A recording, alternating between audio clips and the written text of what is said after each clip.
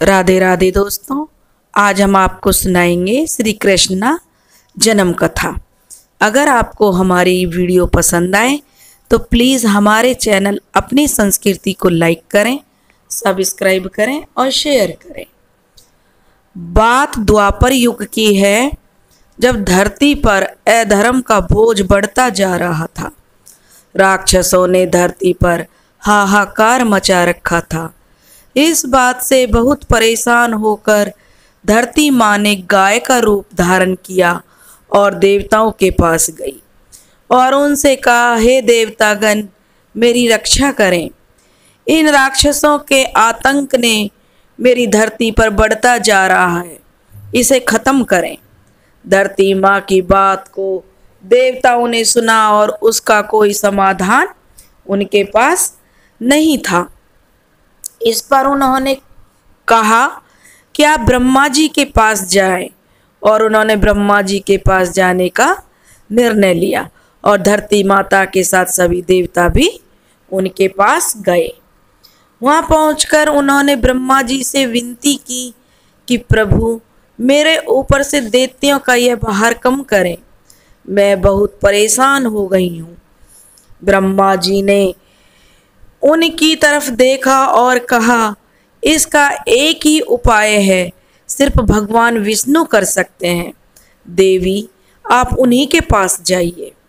ब्रह्मा जी का यह कहा मानकर, उनके साथ धरती माँ और सभी देवतागण भगवान विष्णु के निवास सीर सागर पहुँचे। उस समय वह शेष नाग पर लेटे हुए आराम कर रहे थे। वहाँ पहुंचकर सभी ने उन्हें प्रणाम किया और पूरी कहानी सुनाई। पूरी कहानी सुनकर भगवान विष्णु ने कहा, हे देवी, परेशान ना हो। मैं मनुष्य के रूप में पृथ्वी लोक पर अवतार लूँगा और इस पाप को खत्म करूँगा। उनकी यह बात सुनकर धरती माँ खुशी खुशी वहाँ से चली गई।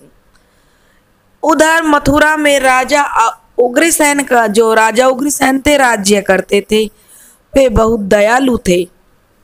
लेकिन उनका बेटा कंस बहुत अत्याचारी और लालची था। उसे राजगद्दी से बहुत मोह था। एक दिन उसने अपने बल से और छल करके राजा उग्रसेन को सिंहासन से उतारकर बंदी बनाकर जेल में डाल दिया और खुद राजा बन गया। लेकिन कंस अपनी बहन देवकी से बहुत प्यार करता था। एक दिन देवकी की शादी, राजा सूरसेन के पुत्र वासुदेव के साथ कंस ने तय कर दी, क्योंकि वासुदेव उनका मित्र भी था। जब शादी तय हो गई तो निश्चित समय पर उसने देवकी की शादी वासुदेव के साथ कर दी। और शादी होने के बाद जब वासुदेव के साथ देवकी को विदा करने लगा। तभी आकाशवाणी हुई कि, हे कंस, देवकी की आठवीं संतान तेरा वध करेगी इतना सुनते ही कंस के पैरों तले ज़मीन खिसक गई और उसने देवकी और वासुदेव को जेल में डाल दिया। इसके बाद वह सोचने लगा कि देवकी की आठ संतानों में से कौन से नंबर का पुत्र मेरा वध करेगा। इस असमंजस के कारण उसने देवकी की सभी संतानों को मारने का निर्णय लिया कि नंबर एक से गिनो तो आठ हो गए और आठ से गिनो तो नंबर एक तक आओगे तो भी आठ है तो कौन सा नंबर का जो पुत्र है वो मेरा वध करेगा? यह उसकी समझ में नहीं आया तो उसने सभी संतानों को मारने का निर्णय लिया। एक एक करके उसने देवकी की छह संतानों को वहीं एक शिला पर पटक पटक कर मार डाला। भगवान विष्णु की योजना के अनुसार शेषनाग देवकी की सातवीं संतान के रूप में जन्म लेने वाले थे। जब देवकी सातन से गर्भवती थी और भगवान ने तरकीब से उसका गर्भपात कर दिया और साथ ही उस संतान को वासुदेव की पहली पत्नी रोहिणी के गर्भ में पहुँचा दिया। उसके बाद इस संतान को श्री कृष्ण के बड़े भाई बलराम के रूप से जाना जाता है। इसके बाद भाद्रपद के कृष्ण पक्ष की अष्टमी को रोहिणी नक्षत्र में दे उसके जन्म लेते ही सारे सैनिक अपने आप सो गए।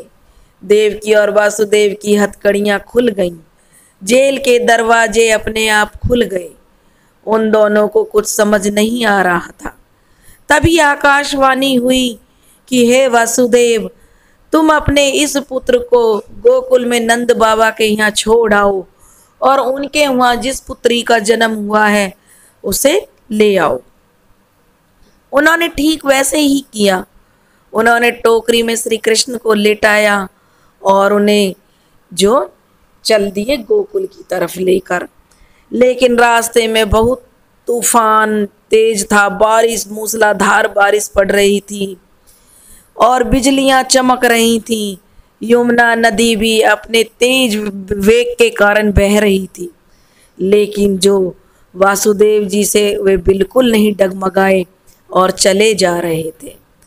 जब वो नदी में पहुँचे तो जो नदी तो जो भगवान श्री कृष्ण के चरण छूना चाह रही थी, अपने वेग से ऊपर चढ़ने लगी और पानी उनके सर तक आने लगा। जैसे ही श्री कृष्ण ने अपने पैर नीचे के तरफ़ कर दिए, यमुना माता ने उनके पैर छू लिए और रास्ता उन्हें दे दिया। अब वो नंद बाबा के घर पहुँचे और उन्होंने यशोदा मैया ने जिस बेटी को जन्म दिया था, वो सोई हुई थी, उन्हें कुछ पता नहीं था। भगवान की ऐसी ही लीला थी कि किसी को कुछ पता नहीं चला। तो उन्होंने वहाँ पालने में से सोई हुई बेटी को अपने साथ लिया और कान्हा जी को वहाँ पर लिटा दिया और वापस जेल में आ गए। वासुदेव के वापस आने के बाद पहले जैसे ही सब हो गए, हथकड़ियाँ अपने आप लग गई, जेल के दरवाजे अपने आप बंद हो गए, पहरेदार भी होश में आ गए। और जब बच्चे के रोने की आवाज़ सुनी तो सैनिकों ने देवकी की आठवीं संतान की खबर जाकर कंस को दे दी। कंस दौड़ता हुआ जेल में आया और देवकी की गोद से उसकी संतान को छीन लिया। इसके बाद जैसे ही कंस ने उसे मारने के लिए हाथ उठाया, पत्थर पे मारने के लिए तो वह उसके हाथ से छूटकर हवा में उड़ गई और बोली, हे दुष्ट कंस, मैं योग माया हूँ।